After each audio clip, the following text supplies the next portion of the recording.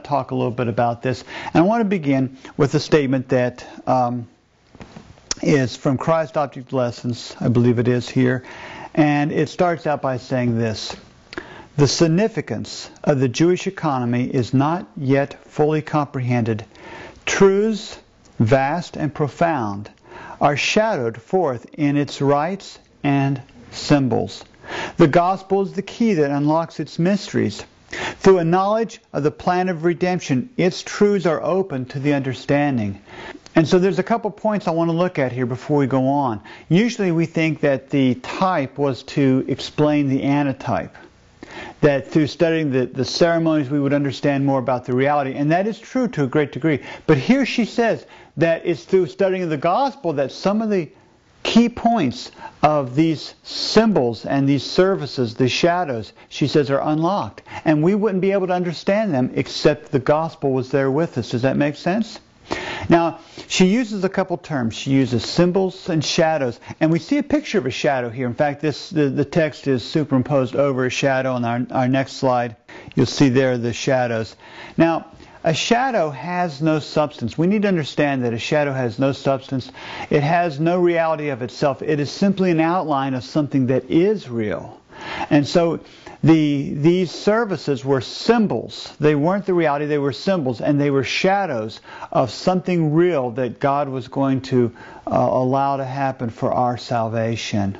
She continues in Christ Object Lessons and says this Far more than we do our privilege to understand these wonderful themes, we are to comprehend the deep things of God. Angels desire to look into the truths that are revealed to the people who, with contrite hearts, are searching the Word of God and praying for greater lengths and breadths and depths and heights of the knowledge which He alone can give. And so we need to have a deeper understanding, a deeper comprehension. She says that even the angels long to look into these things that we can study out and understand. And so we have such a wonderful privilege, and, in the next hour I'm going to be talking more about the privilege we have of, of growing in grace and growing in knowledge in Christ. In the Review and Herald of March 21, 1893, Jesus Christ was the foundation of the whole Jewish economy. He established the sacrificial offerings which typified himself.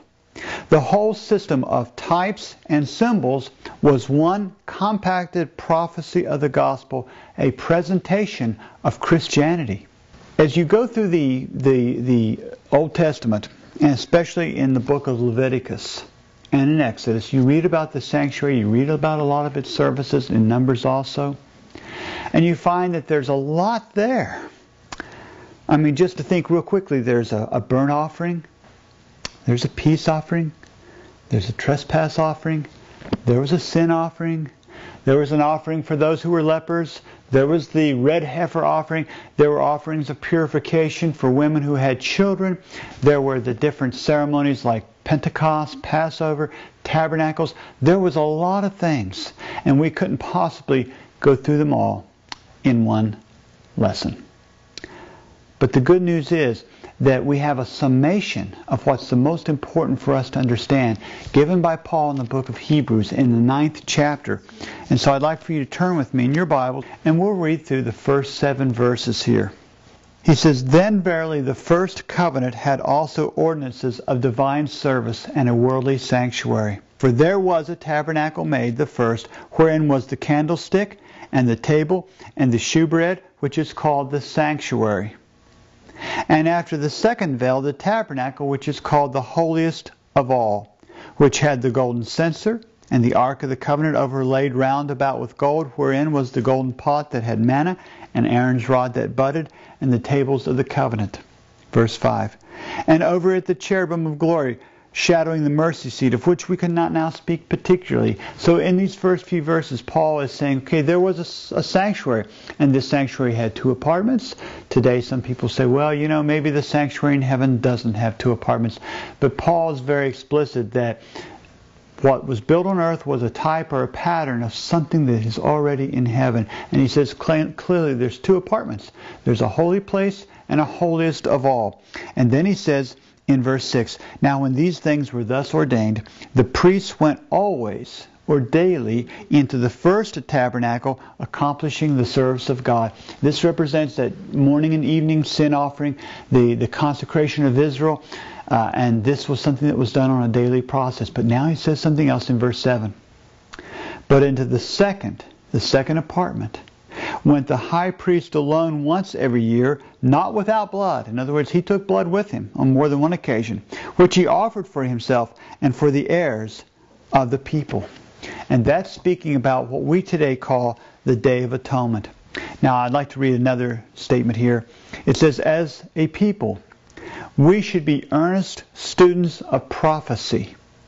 We should not rest until we become intelligent in regard to the subject of the sanctuary, which is brought out in the visions of Daniel and John.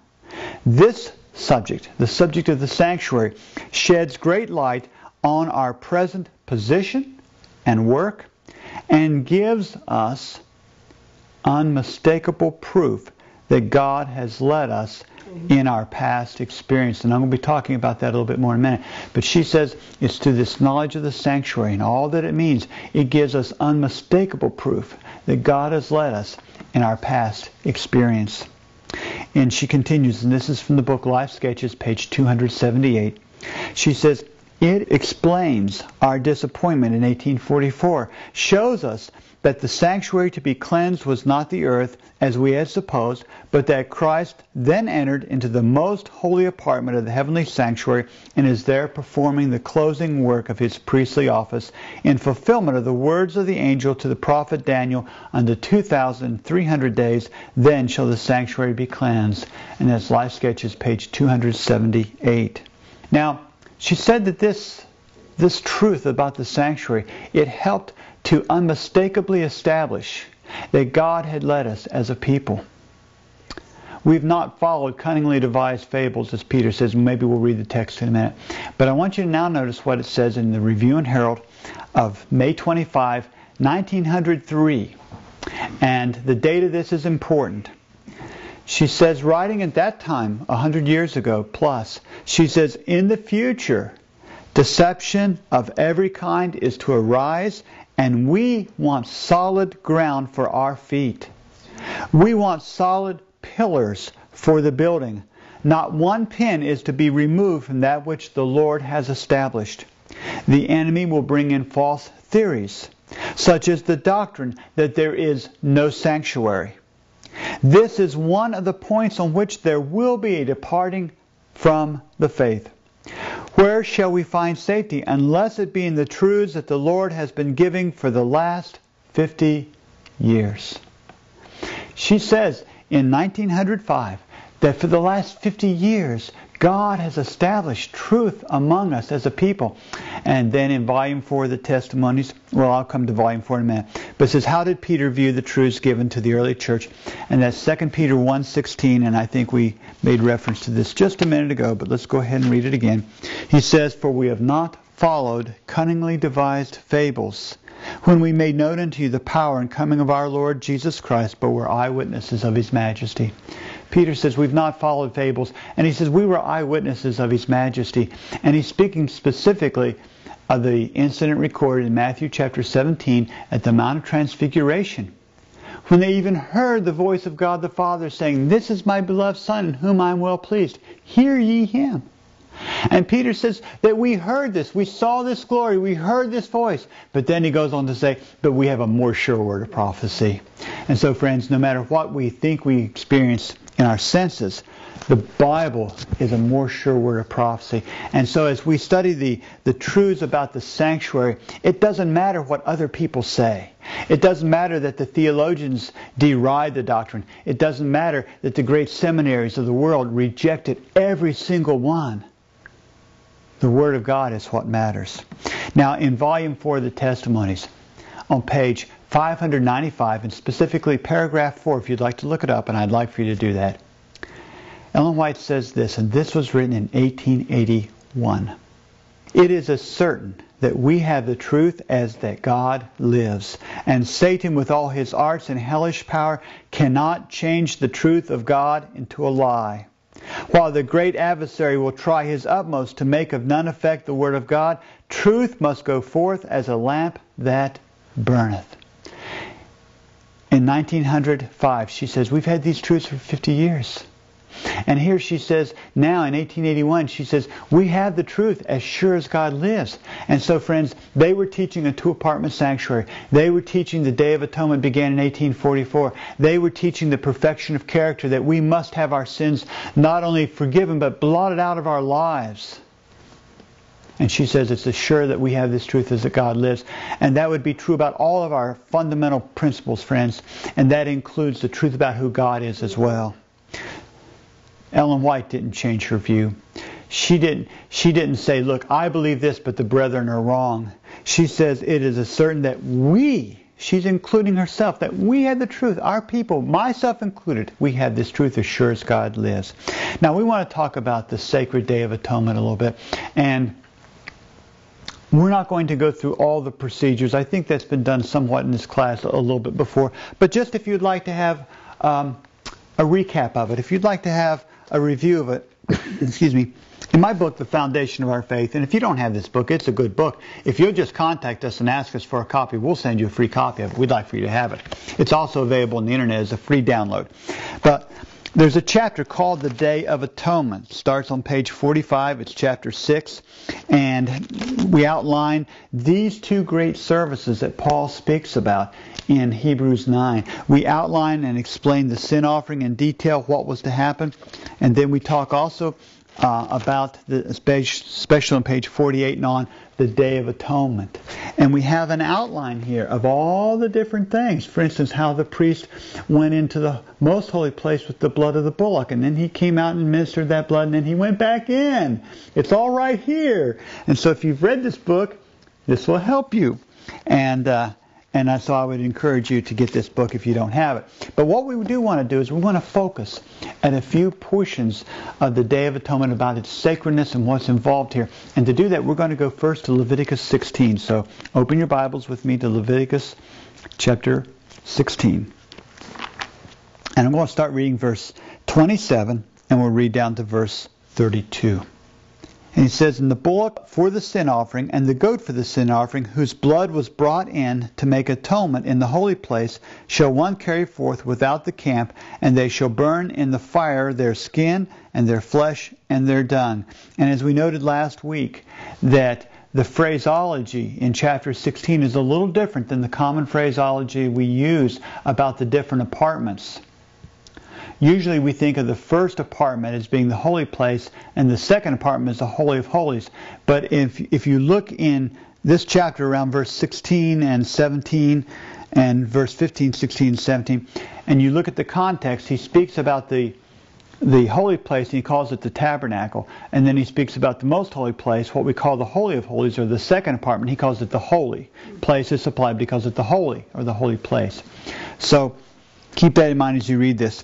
Verse 28, it says, And he that burneth them shall wash his clothes and bathe his flesh in water, and afterward he shall come into the camp.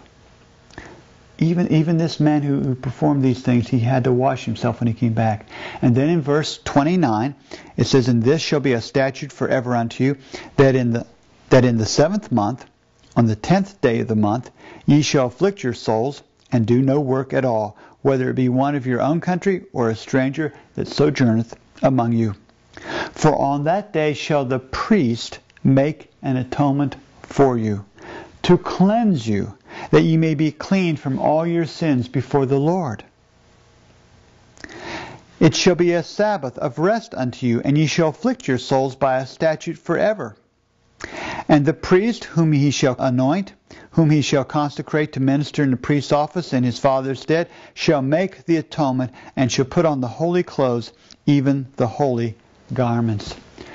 Now, one thing to keep focused on here is that the Bible says that the priest makes the atonement. It's not just simply the sacrifice making the atonement, but the priest, as he applies the blood, the atonement is made. And uh, I'd just like to read um, this again to you. This is Leviticus 23, 27, 28. And I want you to notice an emphasis as I read it because it's going to be just a little different than it is in your Bible, but it's going to be more accurate to the uh, to the plurality of a couple words here. Verse 27. Also on the tenth day of this seventh month, there shall be a day of atonements.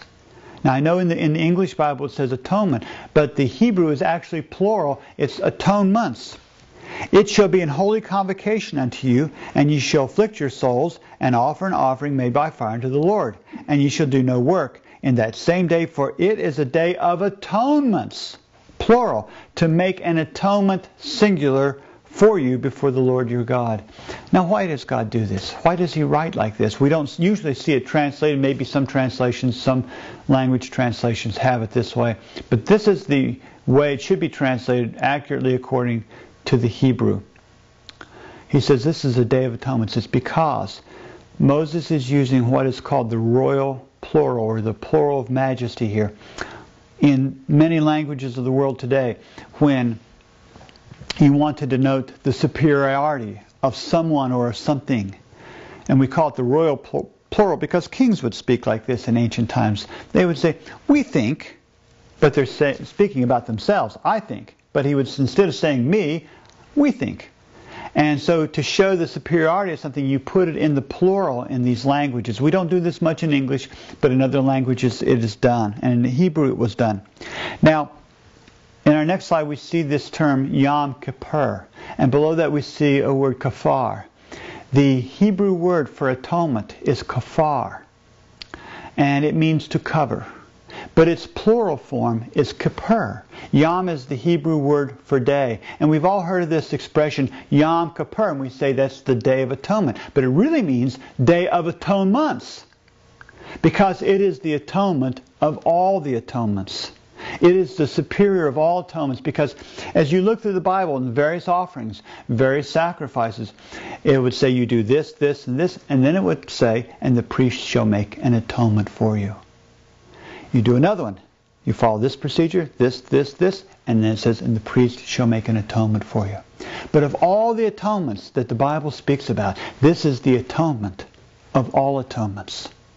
It is the superior. It is what Ellen White calls the final atonement. Now, notice it says here that the people were to do some things. There were two things in particular. One was that the people were to afflict their souls. Those who participate in the final day of atonement, friends, they must control appetite because the Jewish people, they have traditionally, now it doesn't say this in the Bible itself. You can't find a text that says this, but the traditional interpretation by virtually every single Jewish source says that when it said that they were to afflict their souls, that that primarily meant that they were to fast that day. It was a day of fasting. And we noticed a couple verses in Acts chapter 27 that help us to come to this conclusion from the Bible itself besides history. In Acts chapter 27 and verse 9, Paul says, Now when much time was spent and when selling was now dangerous, because the fast was now already past, Paul admonished them and so on. But when it speaks about the fast, it was speaking about here the Day of Atonement. Paul was saying the Day of Atonement is past, but he calls it the fast. And then there's a text in uh, Psalm 69 and verse 10 we can look at too. Psalm 69 and verse 10. He says, When I wept and chastened my soul with fasting, that was to my reproach. And so when he was uh, afflicting his soul, he says it was a fast. And so we understand that they were to afflict their souls. And we are living in the last day of atonement. And we were coming in this morning, some of us were talking about diet a little bit. And one brother said, you know, he said, I think that there's going to be a test on, on our appetite, you know, on diet. And there certainly is. We are to control all of our diet. It's not just going to be on one thing or two things, whether we eat meat or whether we've discarded cheese it's important to do those, you know, those right things. But but whether we have our whole appetite under control, because it's going to determine how we live in a lot of ways. It's very important. And it says that they were to do no work. It, this was the only feast day of all the different feasts and festivals in the Jewish economy. The Day of Atonement was the only day that had a prohibition uh, against work equal to the seventh uh, equal to the fourth commandment, which tells us to keep holy the seventh day. And so, you know, on the Sabbath we can eat. If we choose to eat, we can eat. But on the Day of Atonement, they couldn't even eat. So that even helped to eliminate another thing. Well, I have to get some food ready, or I have to clean up the, the mess we've just left. No, not on the Day of Atonement. You didn't have to worry about any of that. And we are told that those who violate the Sabbath as well as any of the commandments, because the Bible says sin is the transgression of the law. Now, where does it say that? Do you remember?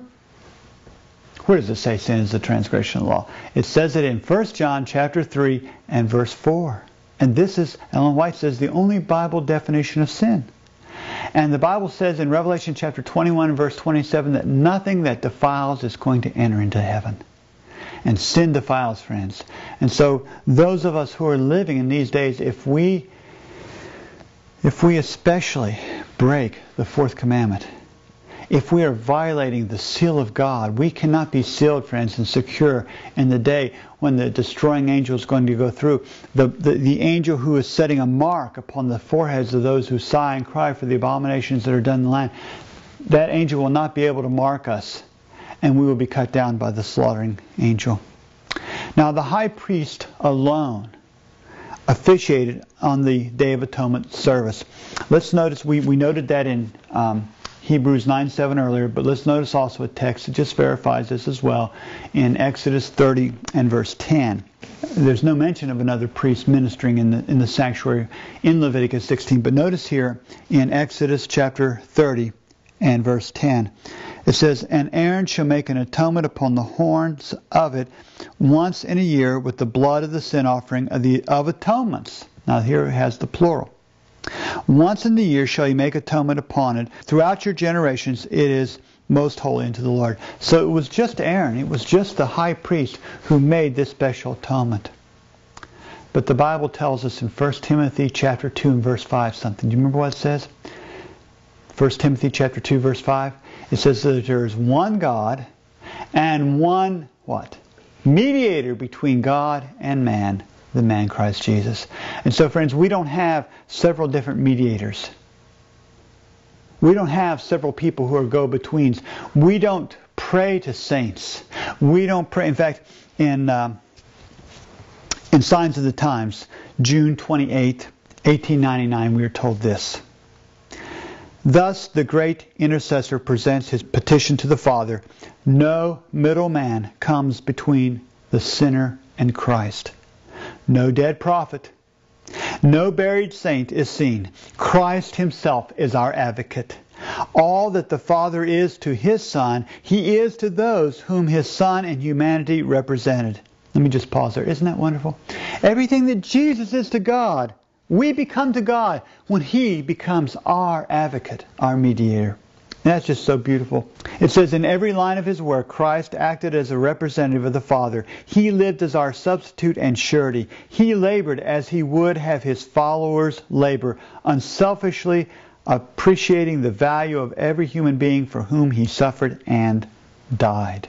That's Signs of the Times, June 28, 1899.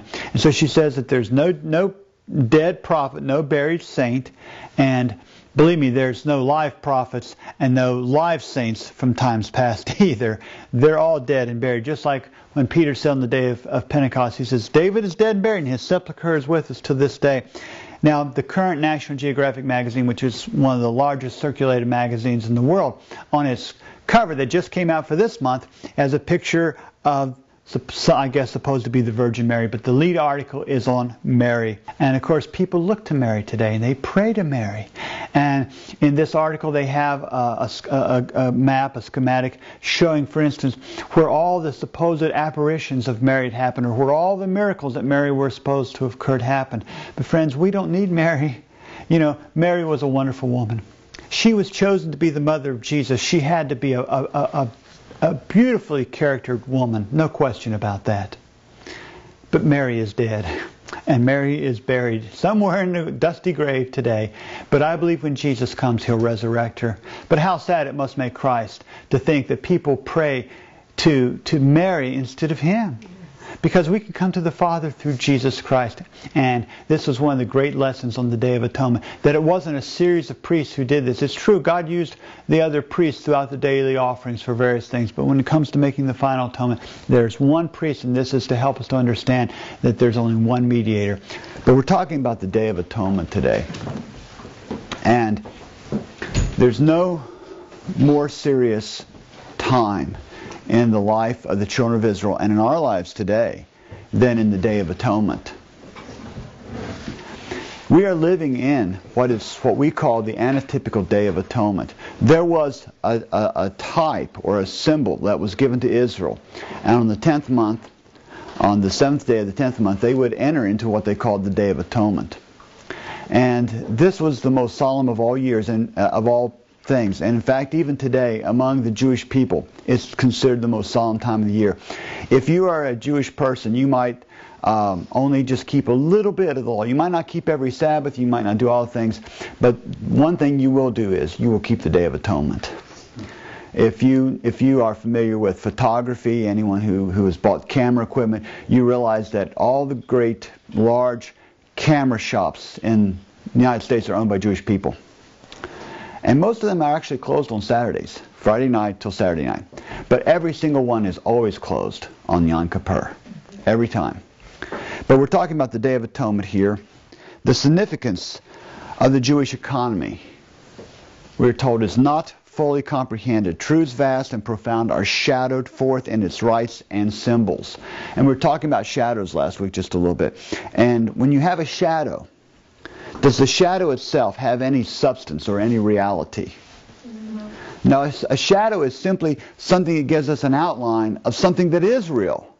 If my body casts a shadow, the shadow is simply an outline of me, but I am the reality, not the shadow. Mm-hmm. I am what's important, not the shadow. The shadow helps maybe to give you an idea. If you couldn't see me, for instance, if you were um, if you were in your home at night and you didn't hear anything, but suddenly you saw a shadow coming around the hallway, that would be important to you. You would know someone's in the house coming down your way and you want to get out of the way or you want to be ready. So shadows have instructional properties, but there's no substance to them. They can't of themselves do anything. You know, you could you could fight against a shadow. You could shoot the shadow that's coming down the hall, but it doesn't help you. It's only as you deal in and with the reality. Jesus Christ was the foundation of the whole Jewish economy. He established the sacrificial offerings which typified him. The whole system of types and symbols was one compacted prophecy of the gospel, a presentation of Christianity. Now, I'm just going to add something in here because I think it's important for us in, in light of the way that some people are responding to these um, types today in Adventism. We know that there, in, in the spring there were three main festivals. Do you remember what they were? Passover. Passover, unleavened bread, and, pa- and Pentecost. And in the fall you had what? Of The trumpets were first, announcing the judgment. Then you had the Day of Atonement, and then you had tabernacles. Now, could you have the Passover, for instance? Could you have the Passover and the Day of Atonement at the same time? No.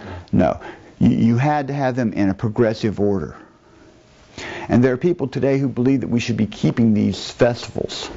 But the problem is that according to the type and, and looking at the prophetic prophecies, because she says this is all prophecy of the gospel.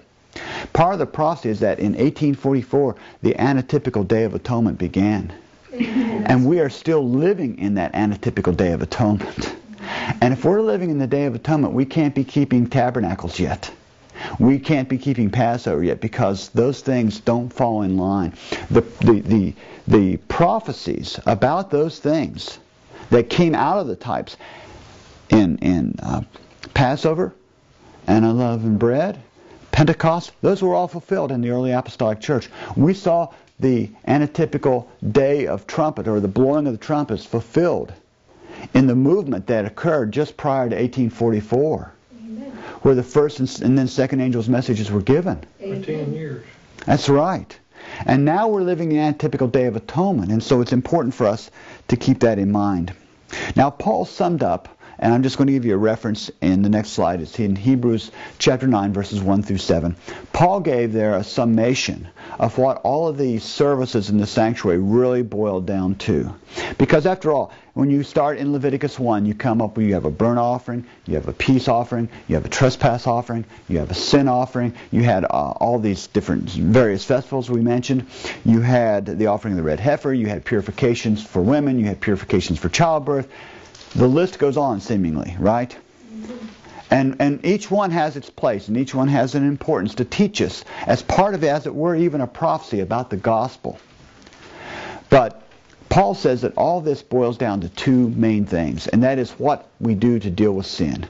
And he says that there was a daily service, the daily offering of the sin offering, and he says and there was an offering that happened once a year when the high priest went into the most holy place. He says, and he says he did it with blood, or he says not without blood. Of course, it means he had blood with him and performed those services. It says, as a people, we should be earnest students of prophecy. We should not rest until we become intelligent in regard to the subject of the sanctuary, which is brought out in the visions of Daniel and John. The subject sheds great light on our present position and work and gives us unmistakable proof that God has led us in our past experience. And then she says, it explains our disappointment in 1844, showing us that the sanctuary to be cleansed was not the earth, as we had supposed, but that Christ then entered into the most holy apartment of the heavenly sanctuary and is there performing the closing work of his priestly office in fulfillment of the words of the angel to the prophet Daniel unto 2,300 days, then shall the sanctuary be cleansed. And this is from Life Sketches, page 278. Now, Ellen White spoke in several places. We have a statement from the Review and Herald of May 25, 1905, and I will make all these slides available for you. In fact, I think maybe I've already put them in the shared section of the uh, web conference, but if you want them, they'll be available and we'll make them available for you. But she speaks about the solid foundation that we have as a people and that the enemy would come in trying to present false teaching such as that there is no sanctuary. But she says, where's our safety? And she says, it's in the truths that we've been promoting for the last 50 years. And she said that in 1905. And so that should help us to understand something not only uh, about the Sabbath truth, not only about the sanctuary, but about many things. If you look back at what those early Adventists believed, and, and you can get a very good example of it by looking at the 1872 Statement of Fundamentals, the very first Statement of Fundamentals that was ever published by the church. And, and there you can read what they believed about God, what they believed about Jesus Christ, what they believed about the atonement and, and the sanctuary. But she says it's in the last 50 years that we have this um, this safety. And then in 2 Peter 1.16, does anybody remember what that said? It says, how did Peter view the truths given to the early church? 2 Peter 1.16, he says, we have not followed what? Cunningly. Cunningly devised fables. And that's what a lot of people look upon our teachings as. They say, oh, those are fables, and sometimes they, they sound good. When you first look at them, they may sound good, but they're not really true. But friends, just as the people in the early church were um, accused of, of teaching heresies. We may be today, but it doesn't mean that's so. And in volume 4 of the testimonies on page 595, um, this is a, a statement that was published in 1881 many years before Desire of Ages was published, or other things that some people use as a, as a license to change our teachings. She says it is certain that we have the truth is that God lives. And she said that in 1881. Now, if we didn't really have the truth, friends, why would she say that? I mean, I don't believe she was a false prophet. I don't believe that for a minute. I believe she understood the real reality of the situation, and she wasn't trying to change us gradually on anything. Now, the Day of Atonement is the most sacred day of the year.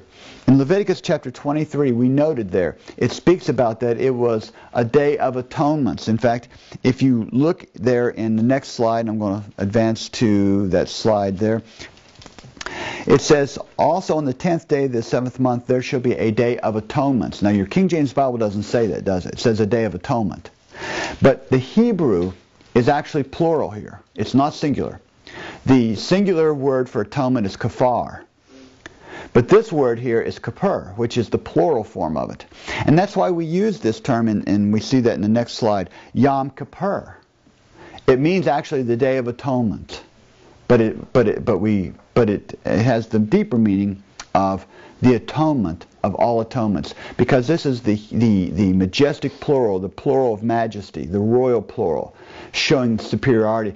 Because as you study through the various offerings, you see many times it says, the priest will do this and shall make an atonement. And it's on more than one thing. There's an atonement for the burn, burn offering. There's an atonement for sin offering. There's atonement on the Day of Atonement. But he says this is the atonement of all the various atonements that you're going to see. This is the atonement of all atonements. Okay, let's turn to Leviticus 4 in our Bibles.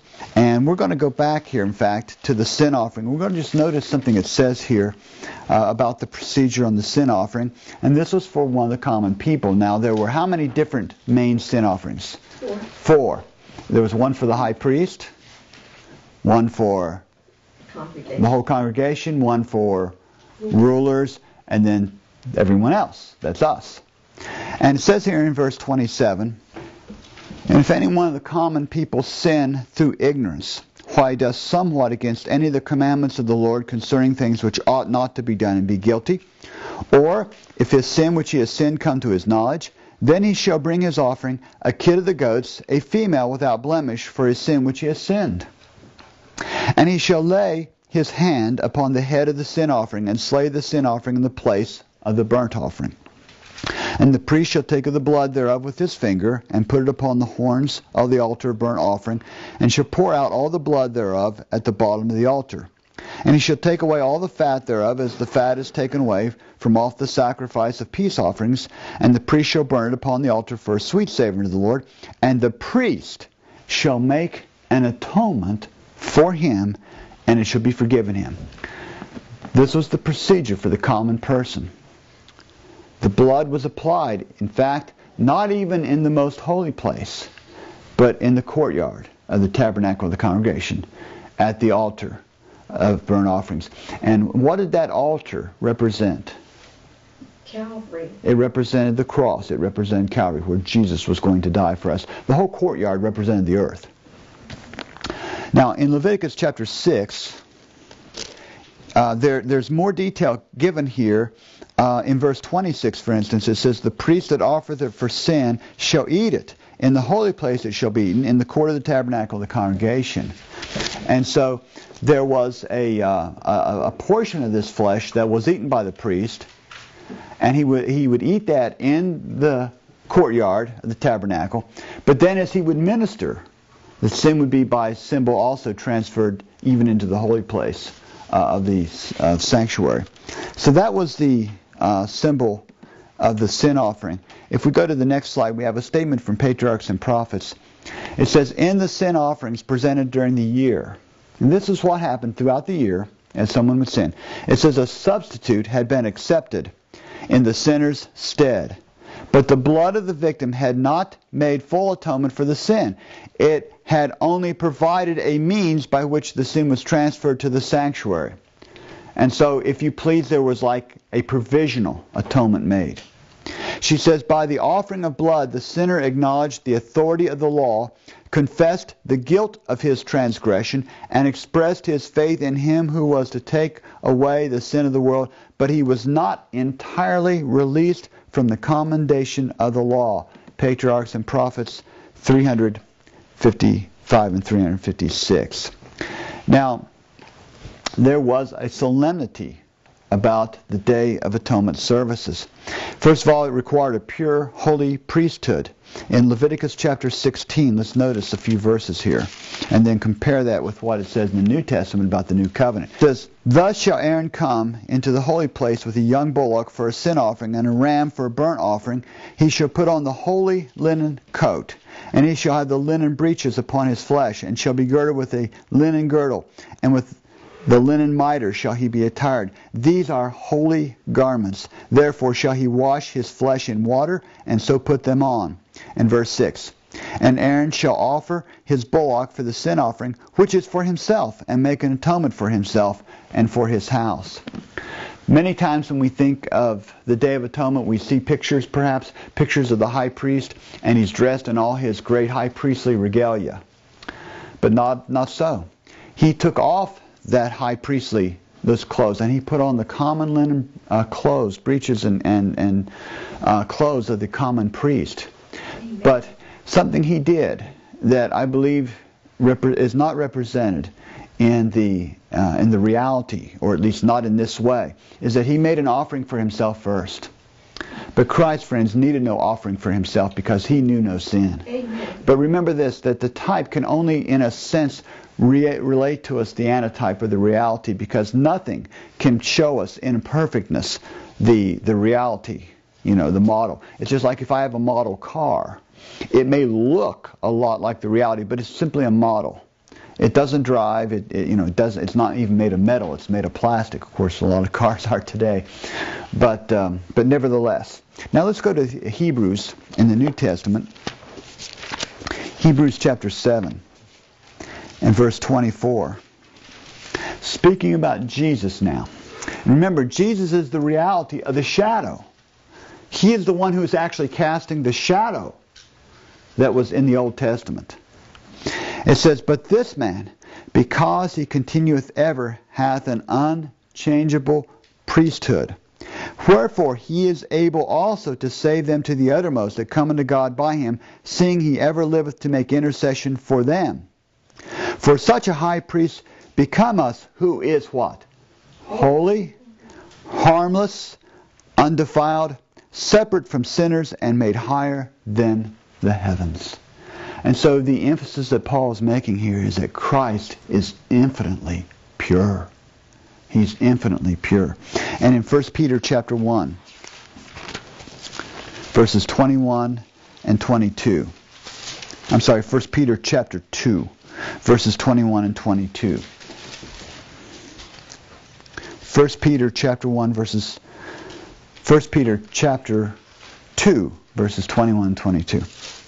It says, For even hereunto were ye called, because Christ also suffered for us, leaving us an example that ye should follow his steps, who did no sin, neither was guile found in his mouth. And I think it's interesting that it says that we are to follow his steps. And the very specific context of following in his steps is to what? Is to not sin. Is to not sin. And that's what we're going to be talking about the next hour. You don't want to miss that. Now, on the Day of Atonement, it says that soul searching, confession, and repentance was required. It says, And ye shall have on the tenth day of this seventh month a holy convocation, and ye shall afflict your souls. Ye shall do not do any work therein. So on the tenth day of the seventh month, they were to what? Afflict their souls, and they were not to do any work. No work at all. And then we go to Leviticus 23. Leviticus 23 and starting verse 28.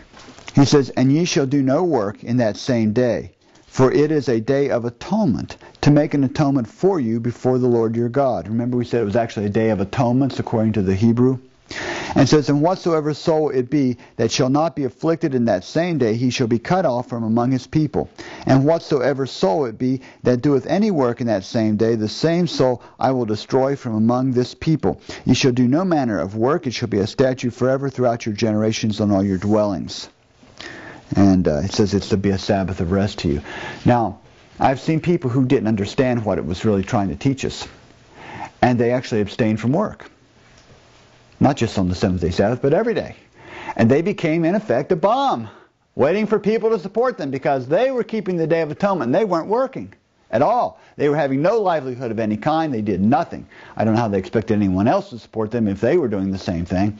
But what is what is the real emphasis? Now, of course, on that specific day, they were to fast. They were not to work. But that had a symbolism. And it was to symbolize that, friends, in the plan of salvation. If we believe that through our works we can obtain or merit salvation, then we are going to be cut off because, friends, our works cannot save us. It is only the grace of Jesus Christ, for by grace are ye saved through faith, and not of works, lest any man should boast. Anybody remember where that's found in the Bible? Ephesians 2, 2 8. 8 and 9. And so, friends, th- this all has a meaning for us even today, even today that we are to keep this in this sense. that if we believe that by the works of our hands, then we can do that. And I tell you, it's, it's not hard in Adventism because we have so many do's and don'ts. And the do's and don'ts aren't, aren't always wrong. You know, we believe that you got to live a certain way, which includes you need to eat a certain way, right? But friends, the moment we think that eating that way saves us, we are going to be cut off. This is a solemn warning to us. If we think that our own righteousness, which according to Isaiah 64 verse 6 is nothing but filthy rags, as soon as we think our own righteousness merits us anything with God, we are going to be cut off. That's right. We're going to be cut off. It is the righteousness of Jesus Christ alone. And that righteousness is good enough. And in fact, let's just skip off for here. Romans 3 for just a moment. Romans chapter 3. There's some people who are afraid of the righteousness of Christ because it won't be enough. I've got to do what the law says. And we do. But that's not what saves us. In Romans chapter 3, and verse 21, it says, But now the righteousness of God without the law is manifested, being witnessed by the law and the prophets. Paul is saying that that righteousness which Jesus provides is a righteousness that is equivalent to everything that the law and the prophets ever spoke about, and they witness to the fact that it is the genuine article. He goes on to say, For all sin and come short of the glory of God in verse 23, but he says, being justified freely by his grace through the redemption that is in Christ Jesus. So our redemption is free. And, and, and just like on the Day of Atonement, those people couldn't offer themselves as a sin offering. They would, they, they would have perished. They had to have a substitute. And we have to have a substitute. And that substitute makes the atonement, but it doesn't make an atonement for us to leave us where we're at. That's right. It makes atonement for us so that we can continue to live and follow the example of Jesus, as it says in 1 Peter chapter 2, verses 21 22, who did no sin, neither was guile found in his mouth. From Patriarchs and Prophets, again on page 355. It says, Every man was to afflict his soul while the work of atonement was going forward. All business was laid aside. The whole congregation of Israel spent the day in solemn humiliation before God with prayer, fasting, and deep searching of heart. Again, it was the blood of the offering alone that could make this atonement. Leviticus 17, verse 11. It says, For the life of the flesh is in the blood. And I have given it to you upon the altar to make an atonement for your souls. For it is the blood that maketh an atonement for the souls. And now if we would turn to the book of Hebrews in chapter 9. Hebrews chapter 9, verses 22 and 23. And I'll try to stay pretty close to the slides so you can sort of see what's coming up here. Hebrews 9, 22 and 23.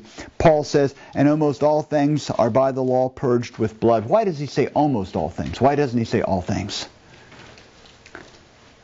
Because there were a couple offerings that did not involve the shedding of blood. You know, there was an offering, for instance, where uh, a bird was drowned with water. Remember that one? And so on. But he says, almost all things are by the law purged with blood, and without shedding of blood is no remission. It was therefore necessary that the patterns of things in the heavens should be purified with these, but the heavenly things themselves with better sacrifices than these. So he says the things that were a pattern of what was in heaven that was the reality. That was the, I'm sorry, the tabernacle, the real tabernacle that Moses made, but it was the pattern of what was in heaven. The Solomonic temple was a pattern of something in heaven. And he says those things were purged or cleansed with the blood of bulls and goats. He says, but that which is in heaven had to be purified with a greater sacrifice, and that was the blood of Jesus Christ. Going to our next slide, we have a statement here from the book Great Controversy, page 417 and 418. It says, The cleansing, both in the typical and in the real service, must be accomplished with blood. In the former, with the blood of animals, in the latter, with the blood of Christ. Paul states, as the reason why this cleansing must be performed with blood, that without shedding of blood is no remission. Remission or putting away of sin is the work to be accomplished. Now, just looking at a few details here. Uh, in Leviticus 16, it speaks there of incense. I want you to turn with me back to Leviticus 16. Leviticus 16, verses 12 and 13. It says, And he shall take a censer full of burning coals of fire from off the altar before the Lord, and his hands full of sweet incense, beaten small, and bring it within the veil.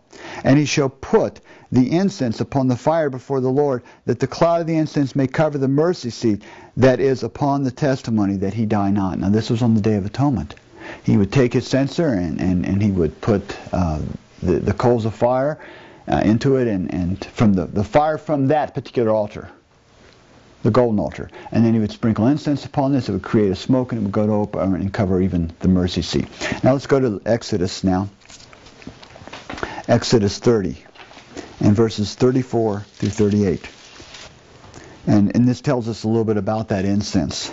And the Lord said unto Moses, Take unto thee sweet spices, stacte and onycha and galbanum, these sweet spices with pure frankincense, of each shall there be a like weight. And thou shalt make it a perfume, a confection after the art of the apothecary, tempered together, pure and holy. And thou shalt beat some of it, very small, and put it before the testimony in the tabernacle of the congregation where I meet with thee, and it shall be unto you most holy. And as for the perfume which thou shalt make, ye shall not make to yourselves according to the composition thereof. It shall be unto thee holy for the Lord. Whosoever shall make like unto that, to smell thereto, shall even be cut off from among the people. And so that gives you the um, overview. Now, Stephen Haskell, in his book, The Cross and Its Shadow, on page 210, made this comment. Just as he entered within the second veil, carrying the golden censer filled with coals of fire from the altar before the Lord, and his hand full of incense, he placed the incense upon the coals in the censer, that the cloud of fragrant incense might cover him as he passed in before the visible presence of God, is manifested between the cherubim across the mercy seat. And in um, in Revelation chapter 8, for instance, it speaks there about the, the, golden altar and this incense, and it represents what? What is this phrase? The prayers of the saints. The prayers of the saints. Okay, if we go now to the next uh, slide, the blood of the atonement. Now, this is, I think, really a very important part of the Day of Atonement, understanding how this works. And let's go back to Leviticus now, 16. And we'll start with verse 7. It says, And he shall take the two goats. Remember, there were two goats to be presented, right? Mm-hmm. He shall take two goats and present them before the Lord at the door of the tabernacle of the congregation. And Aaron shall cast lots upon the two goats, one lot for Jehovah, or Yahweh, the Lord, and the other lot for the scapegoat. And it says here, And Aaron shall bring the goat upon which the Lord's lot fell, and offer him for a sin offering. And so here are the two goats, and we'll come maybe to verse 10 here in just a minute. But let's go first of all to great controversy, the next slide, page 419. On the Day of Atonement, two kids of the goats were brought to the door of the tabernacle, and lots were cast upon them, one lot for the Lord and the other lot for the scapegoat. Verse 8. The goat upon which fell the lot for the Lord was to be slain as a sin offering for the people, as the priest was to bring his blood within the veil and sprinkle upon the mercy seat, and before the mercy seat, the blood was also to be sprinkled upon the altar of incense that was before the veil. And says, And he shall take the blood of the bullock, and sprinkle it with, the, with his finger upon the mercy seat eastward, and before the mercy seat shall he sprinkle the blood with his finger seven times. Verse 15. Then he shall kill the goat of the sin offering that is for the people, and bring his blood within that veil, and do with that blood as he did with the blood of the bullock, and sprinkled upon the mercy seat and before the mercy seat. And so you had these two main animals, the bullock and you had the, the, the goat that was chosen for the Lord, and their blood was brought in. It was sprinkled uh, upon the mercy seat and before the mercy seat as well. In Patriarchs and Prophets, on page 356, it says, On the Day of Atonement, the high priest, having taken an offering for the congregation, went into the most holy place with the blood and sprinkled it upon the mercy seat above the tables of the law. Thus, the claims of the law which demanded the life of the sinner were satisfied.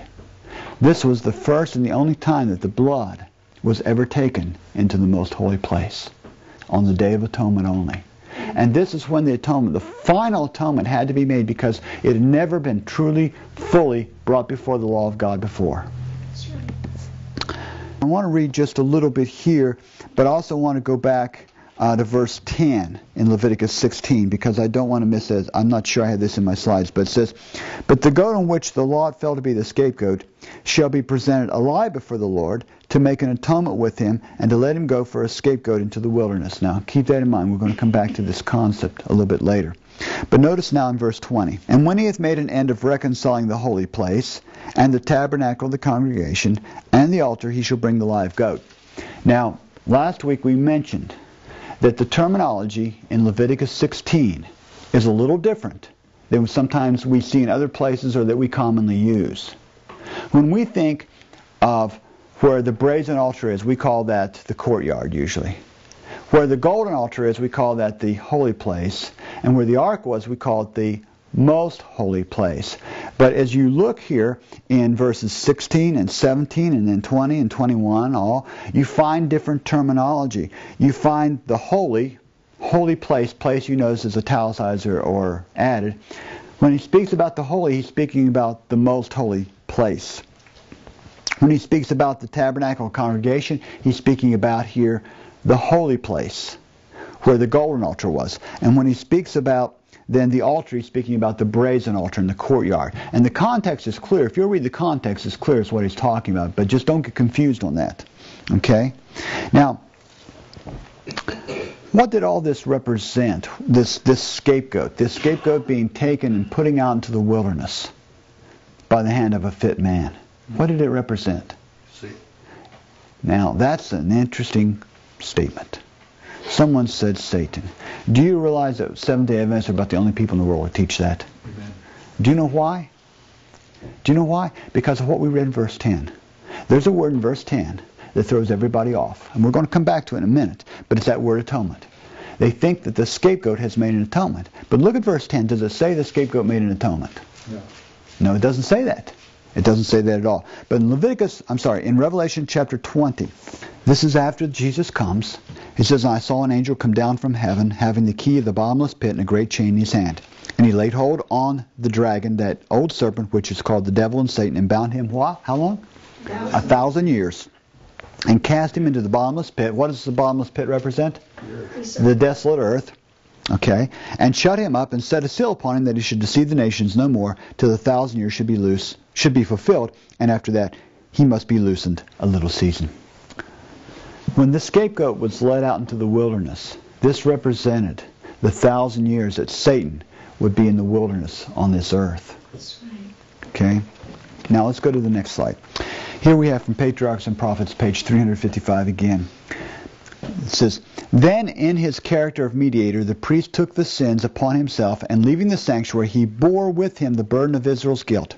At the door of the tabernacle, tabernacle, he laid his hands upon the head of the scapegoat and confessed over him all the iniquities of the children of Israel, and all their transgressions and all their sins, putting them upon the head of the goat.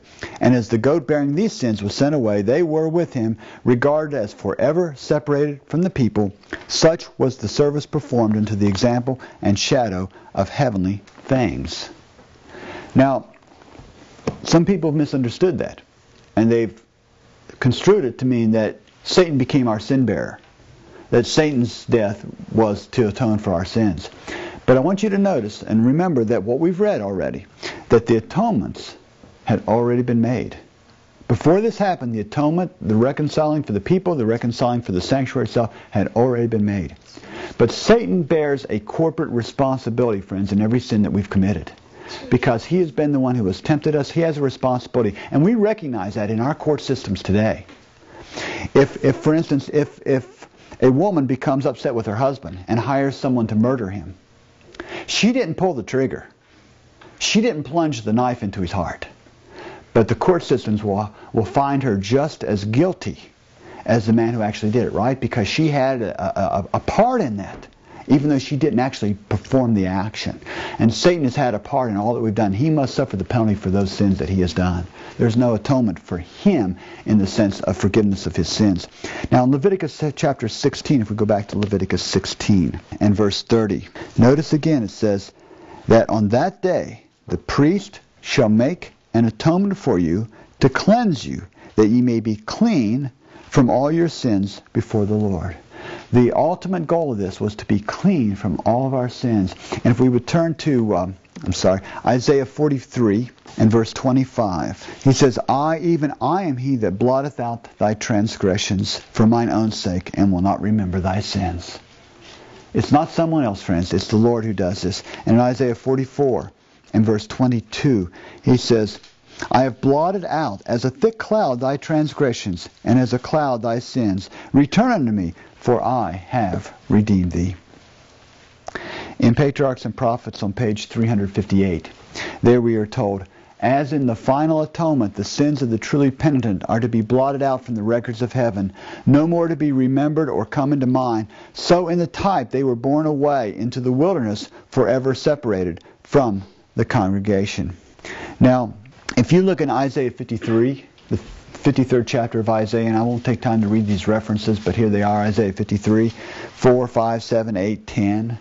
Romans 3, 24 and 25. It's very clear, friends, that Christ is the one who bears our sins. The Bible is explicit on that, and there should be no mistaking on that. In Desire of Ages, pages 755 and 756, it says, It is for thee that the Son of God consents to bear this burden of guilt. For thee he spoils the domain of death and opens the gates of paradise. He who stilled the angry waves and walked the foamed capped billows, who made devils tremble and disease flee, who opened blind eyes and called forth the dead to life, offers himself upon the cross as a sacrifice, and this from love to thee. He, the sin bearer, endures the wrath of divine justice, and for thy sake becomes sin itself. So there's no question that it is Christ as our sin bearer. But now the point is, how does Satan then fit into this in reality? Because if we go back to Leviticus chapter 16, read verse 10 again. Leviticus chapter 16 verse 10. I want you to notice the language carefully. But the goat on which the lot fell to be the scapegoat shall be presented alive before Jehovah or Yahweh. Right? And it says, to make an atonement for the people? With him. Did you get that? It says he makes an atonement with him. How in the world can that happen? Now, what in fundamentally is fundamentally what is the basic definition of atonement? We know the, the word literally means to cover, but it means that we have come into a harmony. We have come into an agreement. And at one moment, we have come into an agreement. Philippians chapter 2, verses 9 through 11. It says, Wherefore God also hath highly exalted him, referring to Jesus, and given him a name which is above every name, that at the name of Jesus every knee should bow of things in heaven and things in earth and things under the earth, and that every tongue should confess that Jesus Christ is Lord to the glory of God the Father. Has it happened yet? No. No. When will it happen? At the end of the millennium. It's going to happen at that time. We have a statement here from Great Controversy, page 668 and 669. It says, as if entranced, the wicked have looked upon the coronation of the Son of God. They see in his hands the tables of the divine law, the statutes which they have despised and transgressed. That's interesting. She calls them statutes there.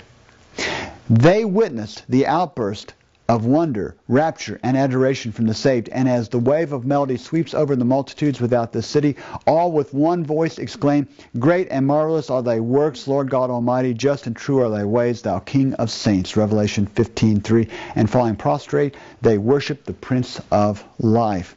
And then continuing on the next page, on page 669, specifically, now Satan. Satan seems paralyzed as he beholds the glory and majesty of Christ.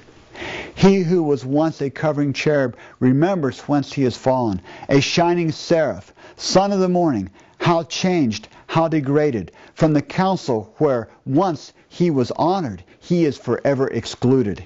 He sees another now standing near to the Father, veiling his glory. He has seen the crown placed upon the head of Christ by an angel of lofty stature and majestic presence, and he knows that the exalted position of this angel might have been his.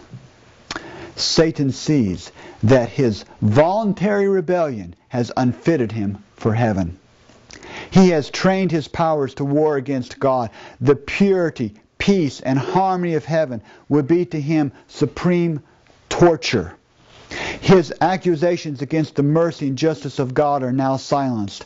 The reproach which he has endeavored to cast upon Jehovah rests wholly upon himself. And now Satan bows down and confesses the justice of his sentence. It says, notwithstanding that Satan has been constrained to acknowledge God's justice and to bow to the supremacy of Christ, his character remains unchanged. And so, friends, though he makes this final agreement with God, you are right. And, and after all, think about this, friends. In, in the light of the great controversy, shouldn't there be a prophecy acknowledging or showing that Satan would finally acknowledge that God was right, that all the claims he ever made about God were wrong? And here it is. It's in Leviticus uh, chapter 16, verse 10. She continues and says, The spirit of rebellion, like a mighty torrent, again bursts forth. Filled with frenzy, he determines not to yield the great controversy. The time has come for a last desperate struggle against the King of Heaven. He rushes into the midst of his subjects and endeavors to inspire them with his own fury and arouse them to instant battle. But notice what happens now. But all of the countless millions whom he has allured into rebellion there are none now to acknowledge his supremacy. His power is at an end. The wicked are filled with the same hatred of God that inspired Satan, but they see that their cause is hopeless, that they cannot prevail against Jehovah. Their rage is kindled against Satan and those that have been his agents in deception, and with the fury of demons they turn upon them. It's going to be a bad time it's going to be a bad time. And the Bible portrays this last event. If we would turn to, to a Bible uh, text in Ezekiel chapter 28 and verse 6. Therefore, thus saith the Lord, because thou set thine heart as the heart of God, behold, therefore I will bring strangers upon thee, and, te- and the terrible of nations, and they shall draw their swords against the beauty of thy wisdom, and they shall defile thy brightness. They shall bring thee down to the pit, and thou shalt die in the depths of them that are slain in the midst of the seas. Now we know this is a prophecy about the prince of, of Satan under the, the symbol of the prince of Tyre. But then he goes on to say in verse 16, it says, By the multitude of thy merchandise they have filled the midst of thee with violence, and thou hast sinned. Therefore I will cast thee as profane out of the mountain of God, and I will destroy thee, O covering cherub, from the midst of the stones of fire says, Thine heart was lifted up because of thy beauty. Thou hast corrupted thy wisdom by reason of thy brightness. I will cast thee to the ground, I will lay thee before kings, that they may behold thee. Thou hast defiled thy sanctuaries by the multitude of thine iniquities, by the iniquity of thy traffic. Therefore I will bring forth a fire from the midst of thee. It shall devour thee, and I will bring thee to ashes upon the earth in the sight of all them that behold thee. All they that know thee among the people shall be astonished at thee. Thou shalt be a terror, and never shalt thou be any more. God is going to bring an end of all sin. And he's going to bring an end of sin in our lives too, friends. And it's either going to be in this life or it's going to be at the end of the thousand years. One of the two. We're not going to have both ways. But God has made provision through the final atonement by the blood of Jesus, friends, not only to forgive us of our sins, but to blot us out and to cleanse us from those sins and to empower us to walk in the newness of life. As I close this video off, I just want to thank you for taking time to to study these things and to, to look at them with us. And I would encourage you to go back through this again and look at every reference. Read every Bible text again because they're true and you can depend upon them. And these references from the Spirit of prophecy are important to us. And friends, um, God gave us a, a, prophet, and we need not deny that, and we need not be upset about that. We should be happy about it. We should be thankful for it, and uh, it helps us in this time so much.